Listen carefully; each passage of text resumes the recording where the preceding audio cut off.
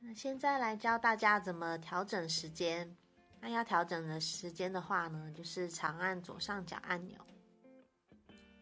那哔一声之后，数字开始闪烁，那我们就可以来做设定。那按右下角是可以去调整它的数字，然后左下角可以切换各个要设定的部分。像这个是城市代码，那现在已经是 TPE，也就是台湾台北的时间。那如果说你想要设定成其他城市的话，就是用右下角这颗按钮去做设定。那我们就是设定 TPE 台北时间，然后设定完成之后，你就按左上角就可以了。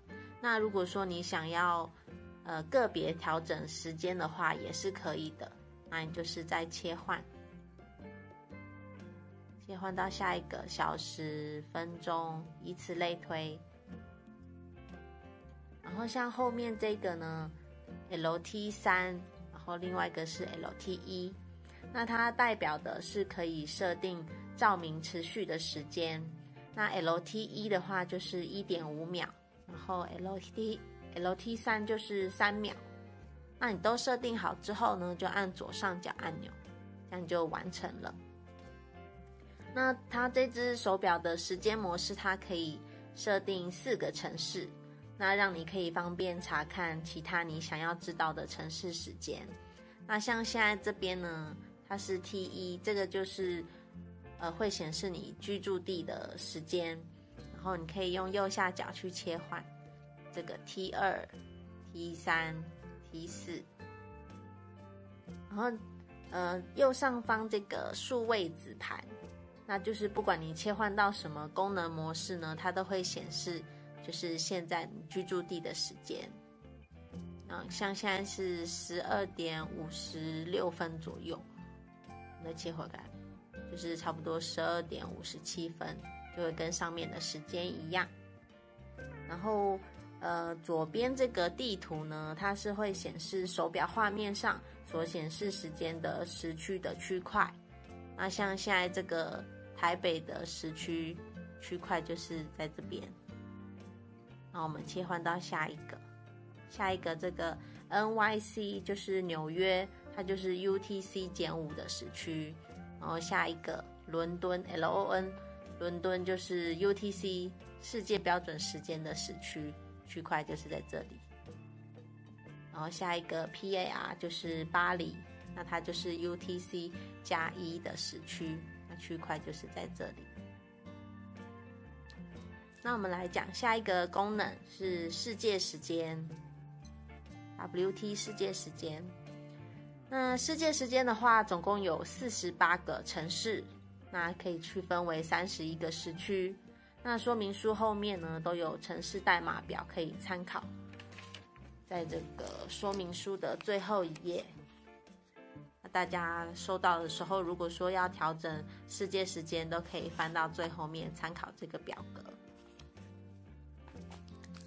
那如果说你要切换城市的话，那就可以按右下角按钮，就会直接去做切换。那因为它的城市有四十八个，还蛮多的，那你可以长按，那它就会加速的切换。然后当你切换到你需要的城市的时候，那你下次再跳回来。世界时间的时候，它就会常态的显示你刚刚所设定的这个城市的时间。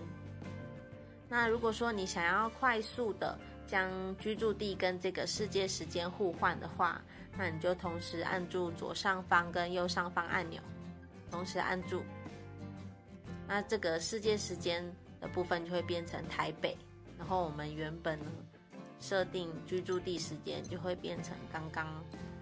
所设定的这个城市的时间了。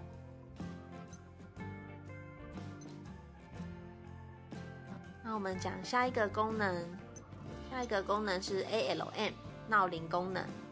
那它这只手表总共有五个闹铃以及整点报时。那只要按右下角就可以切换各组闹铃。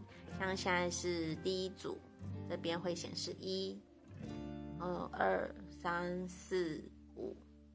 最后这个呢就是整点报时。那只要按左上角就可以开启或关闭。像现在按一下这边变 off 就是关闭，再按一次变 on，那就是开启。那这里上面呢也会显示 SIG，那 SIG 就是整点报时的显示符号。那闹铃的话，它可以设定每日闹铃或是一次闹铃。那一次闹铃的话，我们来看一下，像这个是第一组闹铃，然后这边呢会显示 on，那我们一样用左上角去开启或关闭，按一下就变 off，就是关闭。然后再按一次，它这里会显示一 dash on，那就是呃一次闹铃的意思。那再按一次，只有 on 的话，就是每日闹铃。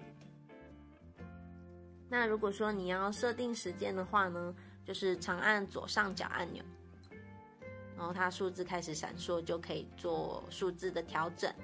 那像这边是小时，我们可以用右下角来调整数字，然后用左下角。切换到分钟，然后一样右下角调整数字。那都调整完毕之后，就按左上角按钮，这样就完成闹铃的设定了。那再来我们讲下一个功能，下一个功能是 TMR，就是倒数计时功能。那它可以设定一秒到最多二十四个小时。那我们就是长按左上角进入设定的画面。然后按左下角可以去切换，像这边是小时，然后再来是分钟，然后秒数，那一样用右下角来调整数字。那调整到你需要的数字，再按左上角，这样就完成设定了。那要开始倒数的话，我们就按右下角按钮，那它这边就会开始倒数。那如果说要暂停的话，也是按同一颗，那它就会暂停。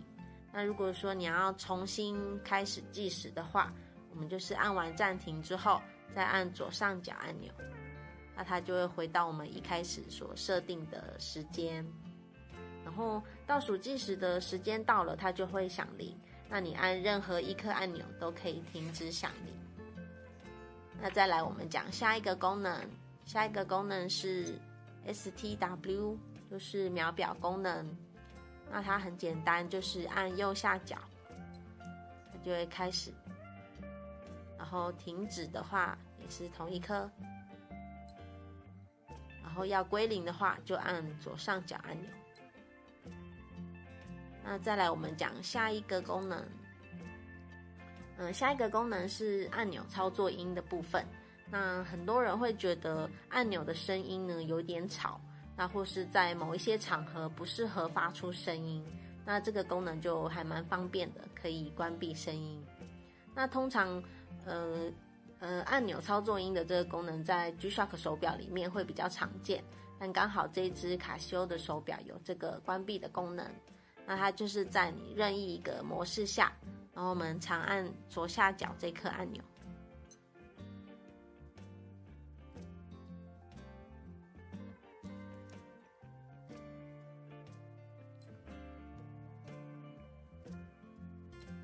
嗯，长按之后呢，它这个上面就会显示 mute，就是静音的指示符号。然后这个时候按钮就没有声音了。但是呢，它其他像闹铃啊，或是整点报时或倒数计时会响铃的功能，是不会受这个按钮操作音的影响。就是时间到了，它还是会照样响铃。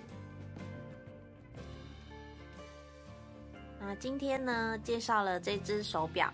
那它在我们七彩年代的卖场内搜寻一一三四六就可以找到这只手表了。那它这只卡西欧的原厂型号是 A 一一千 WD 一 AVDF。然后，嗯，如果说大家呃对这只手表啊有任何问题，都可以在下面留言询问我们，那我们都会回复大家。啊，或是说你有想看其他的商品介绍影片，也都欢迎在下方留言告诉我们。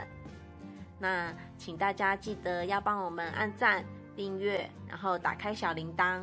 那今天的影片就先介绍到这边喽，大家拜拜。